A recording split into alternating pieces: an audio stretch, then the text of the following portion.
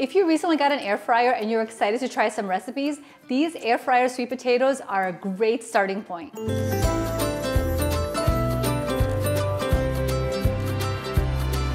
Hey guys, I'm Yumna, aka Feel Good Foodie, and I think the first two things that I made in my air fryer a few years ago were chicken and potatoes. And what I love about cooking sweet potatoes in the air fryer is there's really no need to soak the potatoes, there's no need to add cornstarch, there's even no need for a lot of oil. In fact, all you really need is about a teaspoon of oil per sweet potato. These are healthy, crisp sweet potatoes that you'll wanna make over and over again. So let's get started because we've got some chopping to do. All right, this recipe calls for two medium sweet potatoes. So what I like to do is um, try to make sure that the kind of sweet potato that I'm buying is kind of wide as much as possible instead of one that's really long. And that's just gonna make pretty fry shapes, but it's totally optional. So we're gonna use a vegetable peeler and just peel the sweet potato all around like so. So now what we're gonna do is you wanna use a really sharp knife as much as possible because it's just gonna make it so much easier to cut the sweet potato. And I get a lot of questions on how do you cut a sweet potato so finely? And it really all comes down to the knife. So what I'm gonna do now is just cut this in half. And what makes it easier also to cut a sweet potato is to also turn it on the flat side down. So as soon as you cut it in half, turn it on the flat side down like this.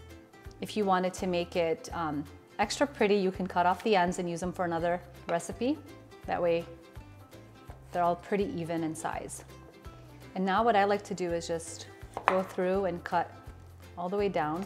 And you wanna try to cut them as evenly as possible in their thickness.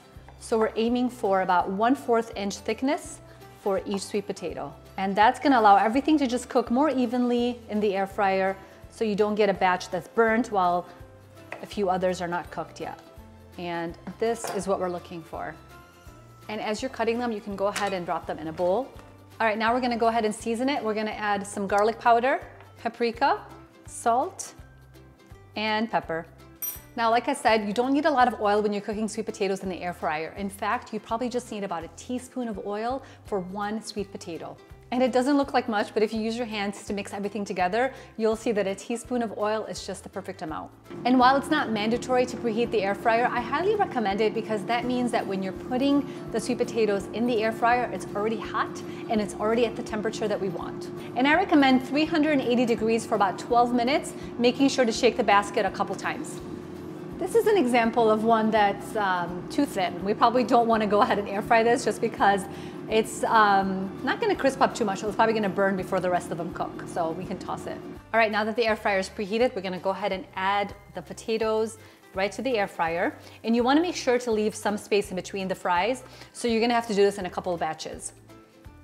And that's really important because if they're too close together, you might create a steaming effect and we don't want to create a steaming effect, we want a crisping effect. So in order to create nice crisp sweet potatoes, you want to make sure to keep a distance between each fry. So this can be tedious if you're doing this with a lot of sweet potatoes and your air fryer is not very large, but it's perfect for a couple serving sizes um, and not overcrowding the air fryer is the best tip I can give you to make sure that they come out nice and crisp. All right, time's up. Let's check up on the sweet potato fries. All right, look how good they look. They're nice and crisp. They're not like frying potatoes in oil, but they do kind of crisp up on the outside, which comes out so good when you're having it as a side dish. Now what I like to do is I like to transfer them to a wire rack just for a couple minutes before serving them because what's gonna happen is air is gonna circulate around the wire rack and just gonna help them crisp up just a little bit more. All right, we let these rest for a couple minutes and here's the second batch. I'm just gonna add everything to this plate. And then you can serve these with ranch, you can serve them with ketchup, you can serve them with whatever you want. I just love keeping it super simple, serving them with some ketchup, or kind of depends on the meal as well to see exactly what I'm gonna have them with. All right, I'm just gonna serve them with a little bit of chopped cilantro or parsley, just to add a little bit of color. All right, we've got a nice crisp one right here. I'm just gonna go ahead and do a little taste test. They're so good.